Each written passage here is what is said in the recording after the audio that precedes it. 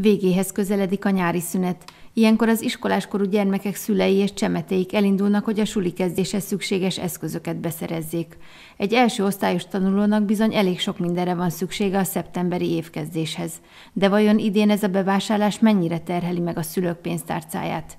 Szerencsések vagyunk a, az árak tekintetében, mert a, a, a, a füzeteknél, a, a, tehát a papírára az körülbelül áprilisban ugrott nagyon nagyot, akkor olyan 30 és 50 százalékkal ment fel a papír, és ugye nyilvánvalóan ezeket a füzeteket, amelyeket most árulunk, azokat a, a tavalyi évben rendeltünk meg, és a tavalyi évben is gyártották. Tehát én azt mondom, hogy a füzet áraknál, e, a design füzeteknél olyan 10 ot mondanék, hogy fölmentek az árak, és a normál füzeteket, azokat mi speciálisan itt ebben az üzletben beszerzési áron adjuk, azért, hogy azok a vásárlóink is meg tudják engedni maguknak a vásárlást, akik esetleg nem rendelkeznek annyi pénzzel. Tehát füzeteknél nincs nagy gond. A ceruzáknál gyakorlatilag nem volt árváltozás nálunk, és a táskáknál is azt mondanám, hogy egy olyan 10 százalék. És én azt gondolom, hogy hogy érdemben ebben az évben még az iskolai bevásárlás nem változott olyan nagyon fölfele. Tehát most még, még, még egész jó, körülbelül a tavalyi ár szint, vagy azt egy kicsit meghaladó az ár. Egy elsős tanuló kezdőcsomagja táskával együtt körülbelül 40 ezer forinttól indul, ez a minimum ár. A végösszeg függ attól is, hogy ki milyen minőséget vásárol. Bár ebben az üzletben jelentős mértékben nem drágultak az árak, mégis észrevehető a vásárlási szokások átalakulása.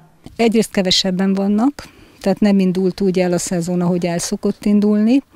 Kevesebb iskolatáskát adunk el, különösen az elsős táskákból, és viszont aki vásárol, azt veszem észre, hogy beosztja a vásárlásait, tehát mit tudom én, vesz 20 ezerért, aztán vesz majd 10 ezerért, tehát nem egyszerre adják ki a nagy pénzt az emberek, de ugyanakkor azért maradtak úgy vásárlóink, akik úgy látom, hogy meg tudják engedni maguknak a drágább cuccokat is, a design füzetet, a jobb táskákat. Tehát olyan nagyon nagy változást nem látok a tavalyi évhez képest. A jó minőségű termékek a magasabb áruk ellenére még mindig kelendőbbek, legalábbis ebben a szaküzletben ez a tapasztalat. Ezt már évek óta mondom, hogy nagyon jó minőséget tartunk. Mi egyébként csak jó és még jobb minőséget tartunk, azért, mert nagyon törekszenek az emberek arra, hogy minőséget vegyenek.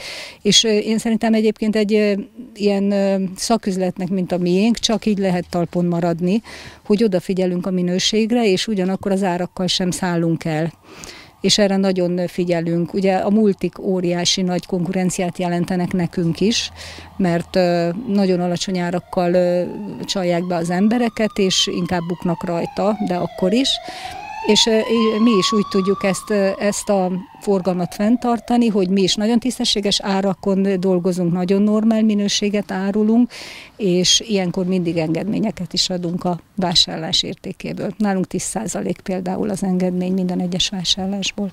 Könnyebb dolguk van azoknak a szülőknek, akiknek nagyobb gyerekek is vannak a családban, hiszen ők a tanszereket, iskolatáskákat a kisebbekre tudják hagyni, így pár tízezer forintot is meg tudnak spórolni egy-egy tanévkezdés alkalmával.